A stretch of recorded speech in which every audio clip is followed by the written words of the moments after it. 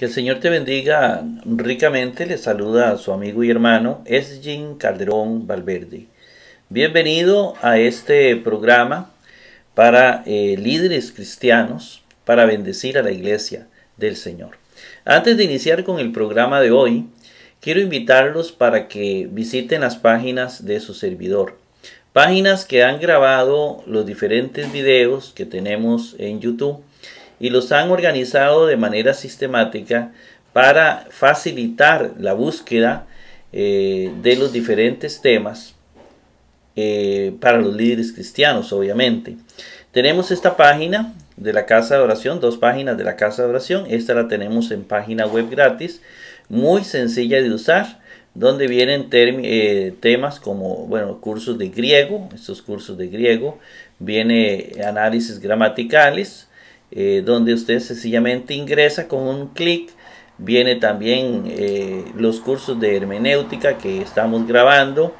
Eh, y vienen otros temas parecidos. Igualmente tenemos la página en Overblock, una página que tiene un menú amplio para que usted pueda explorar. Tenemos también en Facebook la, el grupo Teología y Hermenéutica Bíblica con énfasis en gramática griega.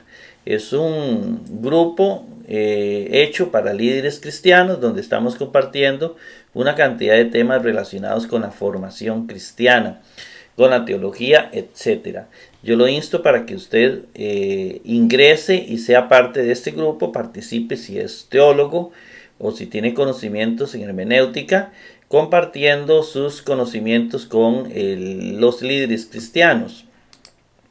También yo lo insto para que usted visite eh, el canal de YouTube, explórelo, hay listas diferentes donde también los temas vienen organizados y usted puede eh, ser eh, de alguna manera bendecido con alguno de los temas que ahí presentamos. Para acceder a estos recursos, escriba en Google mi nombre, así es sencillo, y ahí aparecerá mi nombre es Jim Calderón Valverde y aparecerán eh, primero el canal de YouTube, en este momento está apareciendo, luego aparecen las páginas gratuitas que les acabo de mencionar, aparece Facebook para que usted pueda ingresar y pueda también ser parte de estos grupos. Y también quiero invitarlo para que se inscriba en el, en el, en el diccionario digital escavadigital.com. Este diccionario, escavadigital.com, es un diccionario eh, que nos sirve para traducir textos griegos. Es más que un diccionario porque aparte de la palabra que trae, eh, la palabra como aparece en el Nuevo Testamento, nos va a dar eh, la categoría gramatical a la que pertenece, los accidentes gramaticales del, del término, el paradigma al cual pertenece y los textos bíblicos en el Nuevo Testamento donde esa forma concreta aparece. Aparte de la traducción, eh, este, esta herramienta es útil para traducir textos del Nuevo Testamento. Muy sencilla de utilizar, muy fácil de utilizar. Yo lo insto para que usted se suscriba y pueda aprovechar estos recursos que hemos creado para liderazgo cristiano. En esta oportunidad vamos a hablar de los proverbios y la poesía nómica en este curso de hermenéutica, comentarios a Milton Terry, Hoy la clase 12, el, el doceavo video sobre hermenéutica, los proverbios, vamos a sacar un poquito el libro de proverbios, eh, vamos a ir viendo esa, la poesía nómica en el libro de proverbios. Antes de, dar inicio a la, eh, a la clase de hoy, quiero invitarlo para que se suscriba a mi canal de YouTube para que también se suscriba al diccionario escavadigital.com, la herramienta digital de los exégetas. Eh, como dijimos en, el inicio del programa, un diccionario para traducir textos eh, del griego al español. Eh, solicitarle que nos ayude a evangelizar, comparte este video en tus redes sociales. las personas no desean formarse, mi pueblo perece por falta de conocimiento, dice Oseas 4.6 las personas necesitan conocer, conocer, eh, conocer la Sagrada Escritura. Eh, así como hizo Jesús con sus apóstoles, los preparó varios años. La iglesia primitiva tenía maestros Entonces las personas necesitan conocer. Eh, se oyen millones, miles de ideas, interpretaciones subjetivas y disparates bien lamentables, que a veces no son disparates propios de lo que debe decirse ni lo que dijeron los apóstoles. Hay textos que la gente repite literalmente y que Jesús quiso decir otra cosa. Por eso es necesario la hermenéutica. Este, este es Milton Terry, un poquito la, la biografía de él, la hemos compartido en los otros programas. Este es el contenido que estamos analizando. La primera parte ya se analizó con los cuatro capítulos.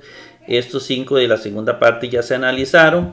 Estamos con el capítulo 7, los proverbios y la poesía nómica. Eh, después veremos esos. Eh, estos tres cursos que estamos viendo, el curso de griego coiné, el análisis gramatical este, y el curso de hermenéutica, yo siento que van de la mano.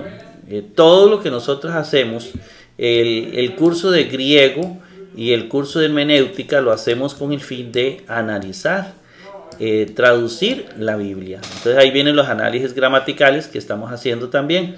Todo, todo gira para eso. Ese es el objetivo.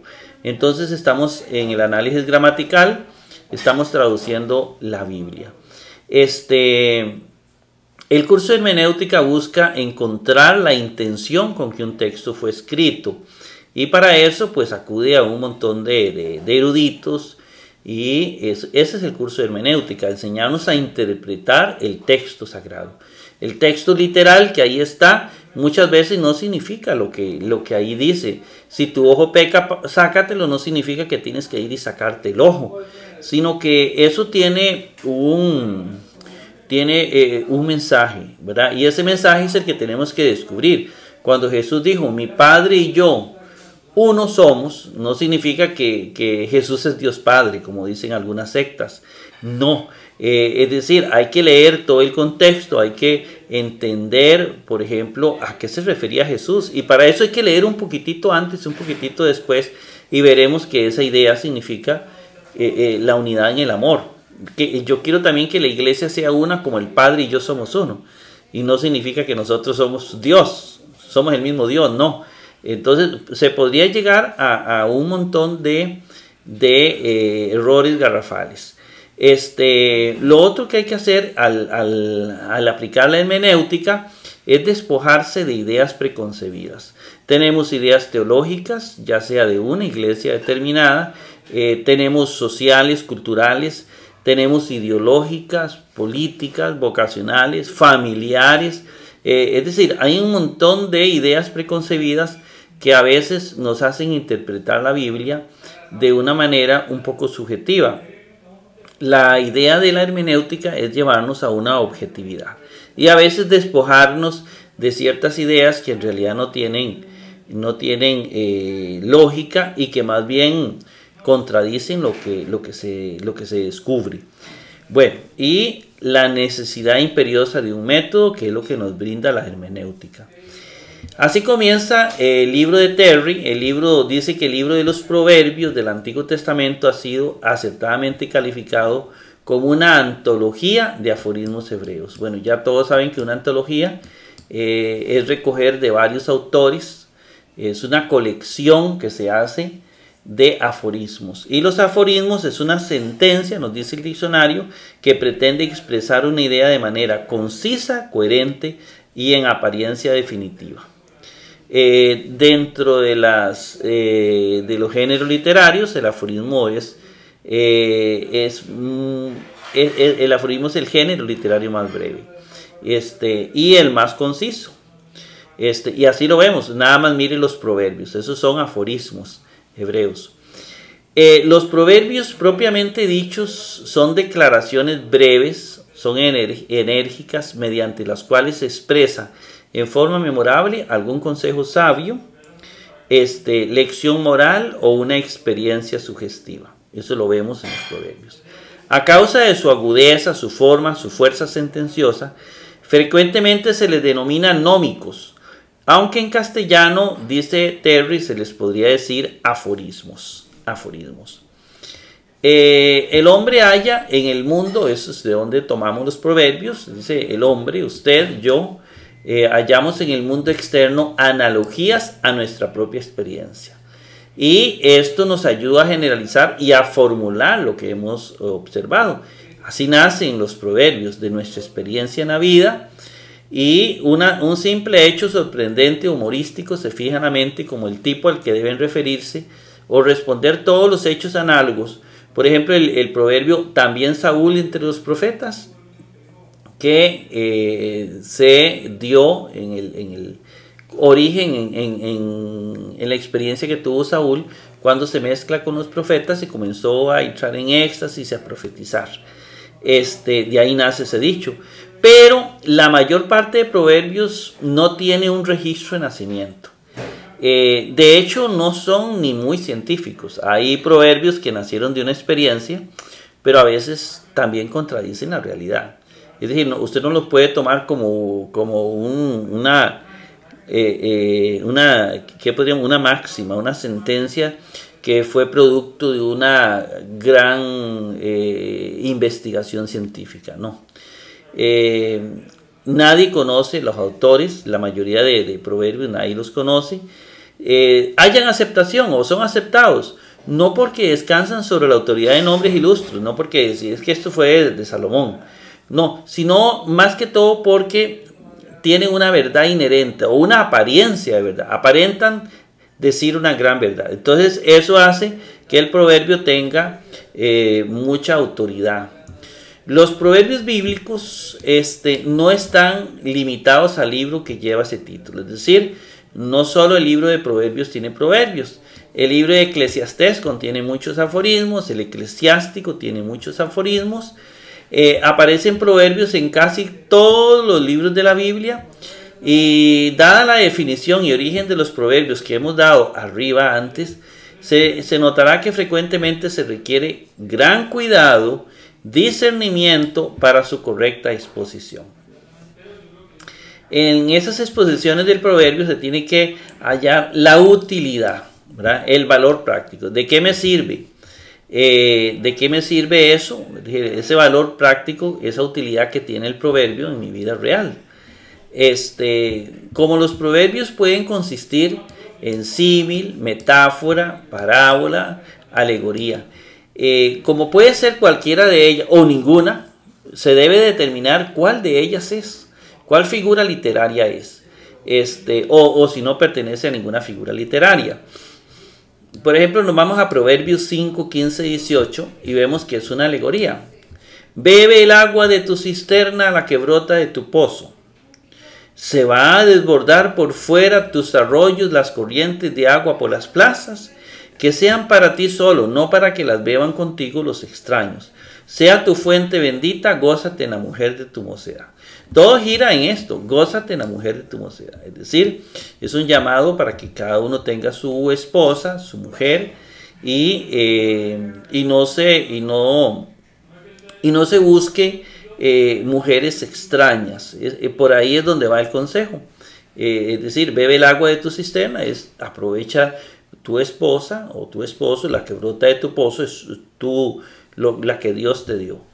Y, luego dice, ¿acaso se va a desbordar por fuera tus arroyos, las corrientes de agua por las plazas? Es decir, como si fueras a buscar por todo lado mujeres y no eres fiel. Es un, texto de la fidelidad. Que sean para ti solo, no para que las beban contigo los extraños. Es decir, cada mujer con su esposa. Eso es una. En Proverbios 1.20, en el 8.1 y en el 9.1, hay personificaciones a la sabiduría. Se personifica la sabiduría. Vea por ejemplo 1.20. La sabiduría clama por las calles, por las plazas, alza su voz. Como si fuera una persona, la sabiduría. Entonces las personificaciones son normales, ¿verdad? Eh, se personifican muchas veces y eso en, la poesía es normal también. La, poesía personifica eh, el amor, la justicia, etcétera. Y no es que sean personas, es que hay una, una figura literaria que ahí está trabajando. Vea el, el, el 8.1, no está llamando la sabiduría y la prudencia no alza su voz como si fueran personas. Ver, se personifica eh, estos valores. Eh, la, el 9.1, este no lo cambié, la sabiduría ha edificado una casa, ha labrado sus siete columnas. Eh, es también, se, se, presenta la sabiduría como si fuera una persona, como si fuera un constructor. Eclesiástico 9, 13 y 18 es una combinación de parábola y proverbio. Eh, aquí sirve la parábola para ilustrar el proverbio. Veamos, veamos este texto. También he visto otro acierto bajo el sol, y grande, a juicio mío, dice el autor. Una ciudad pequeña, chiquita, con pocos hombres en ella, llega un gran rey y le pone cerco, levantando frente a ella empalizadas potentes. Encontrábase allí un hombre pobre y sabio. Él pudo haber, haber librado la ciudad gracias a su sabiduría, pero nadie paró mientes en aquel pobre, nadie confió en él. Y yo me digo, más, más vale sabiduría que fuerza. Pero la sabiduría del pobre se desprecia y sus palabras no se escuchan. Porque se, confía más en, eh, en el poder militar que en la sabiduría, en la inteligencia para ganar un combate. Mejor se oyen las palabras sosegadas de los sabios que los gritos del soberano de los necios. Más vale sabiduría que armas de combate pero un solo hierro echa a perder mucho bueno. Es decir, eh, aquí se, nota que a veces confiamos más en las fuerzas, en, el, en el poder del rey y el guerrero, y no acudimos a aquella persona humilde que es sabia, que tal vez no es tan potente a nivel, a nivel de, de fuerza militar, pero tiene una gran sabiduría para liberar un ejército. Eh, una idea muy, muy común, ¿verdad? Que más vale la sabiduría que la fuerza. Algunos símiles proverbiales tienen la naturaleza de esos acertijos en cuya solución hay un doble sentido. Lo que nos obliga a detenernos, reflexionar antes de dar con el punto de comparación. Lo mismo pasa con algunas expresiones proverbiales en las cuales no se establece formalmente la comparación, sino que queda implicada. Leamos Proverbios 26.8.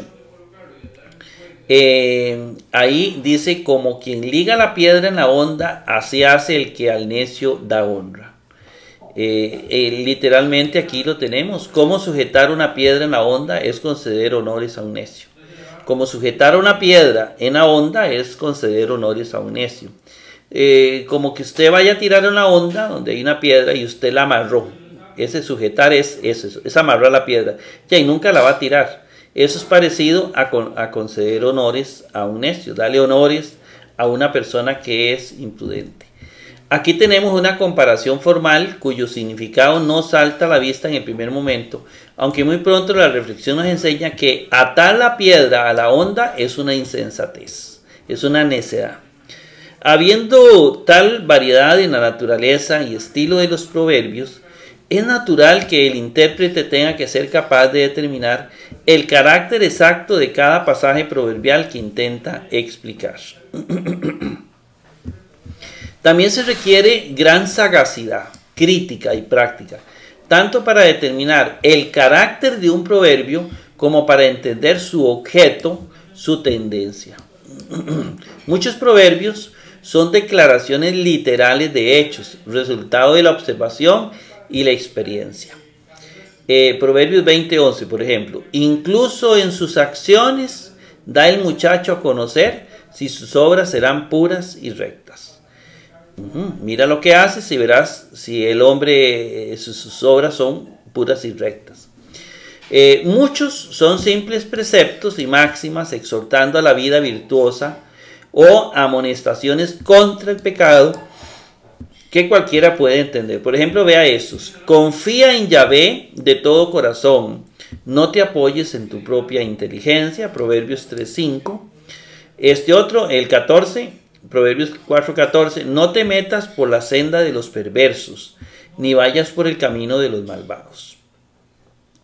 Ahora, hay otros que parecen desafiar toda ingenuidad y agudeza crítica. Eh, debe admitirse que entre tantos proverbios que se han eh, conservado en las escrituras, varios de los cuales indudablemente tenían la intención de desconcertar al lector, hay probablemente algunos que ahora solamente pueden explicarse con conjeturas. Donde quiera que el contexto preste alguna ayuda a la exposición de un proverbio, debe prestársele gran atención y debe notarse que en el libro de los proverbios, así como en el resto de las escrituras, el contexto inmediato, ponga atención a esto, el contexto inmediato en muy gran parte es una guía muy segura para el significado de cada pasaje en particular. Y eso se aplica en toda la Biblia, ¿verdad? El contexto inmediato. También los paralelismos poéticos en que está escrito este libro ayudan mucho a la exposición. Especialmente los paralelismos eh, sinónimos, los antitéticos, se adaptan por medio de las analogías y contrastes que suministran a sugerir sus propios significados. Por ejemplo, Proverbios 11:25. El alma generosa será colmada y el que sacia a otro la sed también será saciado. Aquí el segundo miembro del paralelismo es una ilustración del sentimiento del primero. Veámoslo. El alma generosa será colmada. El que sacia a otro la sed también será saciado. En el paralelismo antitético, veamos un paralelismo antitético que se opone en Proverbios 12:24, cada miembro es metafórico y el sentido de cada uno se aclara por el contraste. La mano diligente obtiene el mando. Ahora vamos el, el caso contrario. La flojedad acaba en trabajos forzados. La antitética se oponen estas dos ideas, la primera y la segunda, ¿verdad? Eh, hay un contraste de ideas. Pero en los proverbios hay pasajes donde el contexto no suministra auxilio satisfactorio. Hay pasajes que al principio parecen contradictorios, nos obligan a detenernos para estudiar y ver si el lenguaje es literal o figurado. Donde faltan otros auxilios, hay que apelar de manera especial al sentido común y al sano juicio. Si usted no tiene contexto ni tiene elementos para poder interpretarlo, pues hay que usar un poquito el sentido común y el sano juicio. Pero eh, también la humildad, pienso yo. Si yo, por ejemplo, veo que un texto no tiene contexto donde explicarlo, yo tengo que decir, bueno, aquí no hay un contexto claro, mi posición subjetiva es esta. No, no decir, bueno, eso significa esto. Y yo no tengo, no tengo más que mi sentido común que puede estar atrofiado por, eh, por ideologías, por, por cultura, etc. Entonces se dice, bueno, yo considero que este es, eh, eso es la humildad. Eh, en todo caso, dudoso, estos han de ser nuestro último recurso, dice Terry, para guardarnos contra la interpretación de todos los proverbios como proposiciones universales. En Proverbios 16:7 hallamos un dicho que expresa una gran verdad. Cuando Yahvé se complace en la conducta de un hombre, hasta a sus enemigos los reconcilia con él. Es cierto. Pero ha habido muchas excepciones a esta declaración, muchísimos casos a los cuales solo podría aplicársela con mucha modificación, tal y como todos los casos de los perseguidos por amar la justicia. Es decir, cuando Yahvé, vamos al, proverbio, cuando Yahvé se complace en la conducta de un hombre, Yahvé se complace en Pablo. Yahvé se complace en los apóstoles.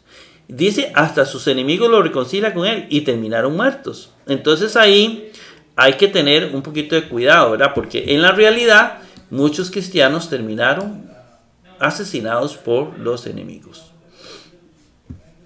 Eh, fue una experiencia, yo digo, que se dio de una manera subjetiva en un momento concreto. Lo mismo puede decirse del versículo 13 de ese mismo capítulo. Vea, los labios justos son el contentamiento de los reyes y aman al que habla lo recto. Bueno, así dice la Jerusalén. El favor del rey para los labios justos. Y a veces no es necesario. A veces una persona justa no tiene el favor del rey. El rey ha matado a personas que son muy justas. Dice, ama al que habla rectamente. No todo rey, no todo rey. Los análisis de la historia, así lo va a explicar eh, Terry, demuestran que esto no es cierto siempre. A pesar de que los más impíos de los reyes se dan cuenta del valor de los consejeros rectos. Entonces, quiere decir, mis queridos hermanos, que un proverbio no necesariamente es una verdad filosófica o científica. Puede ser que se dé en algún momento concreto Por eso los proverbios no pueden, eh, no, no, son verdades, eh, digámoslo así, este, eh, verdades indiscutibles. No, no necesariamente. Pero entonces no es que toda palabra es inspirada por Dios. Claro, es inspirada por Dios. Y es lo que nos dejó el Espíritu Santo a nosotros. Pero eso es lo que nos deja el Señor a nosotros. Nos deja la posibilidad de que nosotros razonemos de que esa palabra no es totalmente una máxima que tiene que cumplirse al pie de la letra. Es decir, ¿dónde está el don de la razón? Entonces es una palabra inspirada por Dios. Dios nos dejó una verdad, no nos deja una mentira, nos deja una verdad de un libro que tenemos que analizar de una manera científica, eh, hermenéutica, correcta. Proverbios 26, 4 y 5 son contradictorios en la forma y en la declaración, pero por las razones que allí se, se da, se ve que ambas son correctas. Vean, el 4 y el 5. No respondas al necio según su necedad, no sea que tú también te vuelvas como él. Pero vea lo que dice el 5, responde al necio según su necedad. No vaya a creerse que es un sabio. Eh, aparece que es una contradicción, ¿no? No responder al necio según su necedad, nos dice el 4. Pero el 5 nos dice que responde al necio según su necedad. Bueno, hay que ahondar y profundizar, pero aparentemente son contradictorios. ¿Cuál de los dos tomo? Si usted responde al necio, según su necedad, está haciendo lo contrario del versículo 4, que dice no respondas al necio según su necedad. Pero si usted no responde al necio según su necedad, está contradiciendo el 5 que dice responde al necio según su necedad. Bueno, el sentido común y el sano criterio deben decidir en cada caso diverso cómo comprenderlo. Cómo comprenderlo. Se ha supuesto que Proverbios 6:30 envuelve un absurdo. Vamos a ver. No se desprecia al ladrón cuando roba para llenar su estómago porque tiene hambre. Mas si le sorprenden, paga el séptuplo, tiene que dar todos los bienes de su casa. Así como así no se entiende, pero hay que leer el contexto, ya lo vamos a ver. Porque habla de que no se desprecia al ladrón cuando roba para llenar su estómago. Ahí la idea es que una persona que roba por necesidad no se le debe despreciar, porque él roba porque tiene hambre. Más si le sorprenden, paga el séptuplo. Pero ¿se refiere al ladrón o se refiere a otro caso? Por eso hay que leer el contexto. Pero si le sorprenden, no, no se refiere necesariamente al ladrón, aunque este versículo está cerca. Tiene que dar todos los bienes de su casa. Veamos a ver. El robo Dice eh, Terry, es siempre robo. Pero si un hombre ha llegado a tal estado de pobreza como para robar con el fin de aplacar su hambre, ¿cómo preguntamos hacerse devolver el séptuplo de lo robado y toda la sustancia de su casa? ¿Cómo explicar eso? La falta de conocimiento de la ley y del sentimiento hebreo nos hace ver un absurdo en esto. Para comenzar, el pasaje es proverbial debe tomársele sujeto a limitaciones proverbiales, ¿verdad? Y ya sabemos que los proverbios no son máximas, no son verdades indiscutibles. Debe tenerse en cuenta el contexto en el cual el escritor se propone demostrar la gran perversidad del adulterio. Porque en la segunda parte está hablando del adulterio y en la primera está hablando del robo. ¿Y por qué lo sé? Bueno, vamos a ver ya casi el contexto. Nadie será inocente, arguye el escritor, si toca a la mujer de su prójimo. Eh, el Proverbio 6, 30, 31. 29. Así le pasa al que se llega a la mujer del prójimo, no saldrá ileso ninguno que la toque. Bueno, e, e, esto es Proverbios 29. El que roba por satisfacer el hambre no es despreciado porque se tiene en cuenta las circunstancias atenuantes. Sin embargo, si se le descubre aún él está sujeto al máximo de la pena de la ley.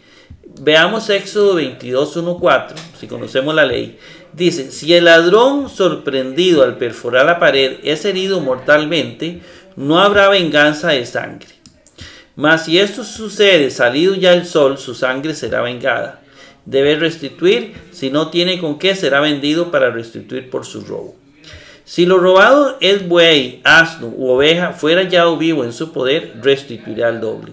Si un hombre causa daño en un campo, en una viña, dejando suelto su ganado, de modo que pasca en campo ajeno, restituirá con lo mejor de su propio campo y lo mejor de su propia viña. Lo del séptuplo, indudablemente debe tomarse como una expresión idiomática. Es una expresión, un, dicho, una referencia, ¿verdad? Toda su propiedad entregará si fuere necesario para hacer restitución. Toda, todo, esto acerca, todo esto acerca de un ladrón bajo las circunstancias mencionadas, pero el adulterio hallará un peor suerte, golpes, vergüenza y reproches que no pueden raerse. Versículo 32-35. Veamos esto de 32, eh, Proverbios 6, 32, 35. Dice, el que hace adulterar a una mujer es un mentecato. Un suicida es el que lo hace. Encontrará golpes y deshonra y su vergüenza no se borrará, porque los celos enfurecen al marido y no tendrá piedad del día de la venganza. No hará caso de compensación alguna, aunque prodigues regalos no aceptará. Se refiere a adulterio. En cuanto al supuesto absurdo de, compeler a pagar séptuplos a quien nada tiene, es cosa que surge de una interpretación literal del proverbio. Evidentemente el sentido es que sean cuales fueren las circunstancias del robo, si se encuentra ladrón ciertamente será castigado, así lo dice la ley, según el caso lo exija. Un hombre podría poseer propiedades, sin embargo robar para satisfacer su hambre o si no poseía propiedades, podría ser vendido, según Éxodo 22.3, por quizá más de siete veces el valor de lo que había robado. Del mismo modo, en Eclesiastés 10.2 se ve inmediatamente que el lenguaje no ha de tomarse literal, sino metafóricamente. El sabio tiene el corazón a la derecha, el necio tiene el corazón a la izquierda, según Eclesiastés 10.2. El significado exacto del proverbio, sin embargo, es oscuro. Probablemente la palabra corazón debe tomarse por juicio, entendimiento, y el sentimiento es que el sabio tiene su entendimiento siempre listo y a su eh, completa disposición, mientras que con el necio pasa lo contrario. Bueno, la derecha y la izquierda, por ejemplo, se, sabe que la derecha es como, más, eh, eh, más racional que la izquierda, ¿verdad? Que es más emocional. Este, entonces, la persona que hace el bien es una persona que, que, tiene un corazón correcto, podríamos decirlo. Bueno, eh, yo creo que aquí llegamos un poco a lo, que, a lo que nos presenta Terry sobre proverbios y poesía nómica. Creo que nos queda una gran lección. No podemos literalizar el libro de proverbios. El libro de Proverbios nos enseña muchas cosas y podemos ilustrar muchos temas, pero no presentarlo como que es, eh, como que es indiscutible. Todo texto es discutible y el Espíritu Santo nos dio un libro hermoso para tomar muchas decisiones en ciertos momentos concretos. En algún momento concreto un versículo puede tener sentido, pero en otro momento concreto no nos ayuda a decidir en la vida. Espero que haya sido de gran ayuda y de bendición para nuestras vidas, para la interpretación de la Biblia. Que el Señor me lo bendiga ricamente y nos vemos en el 2.8.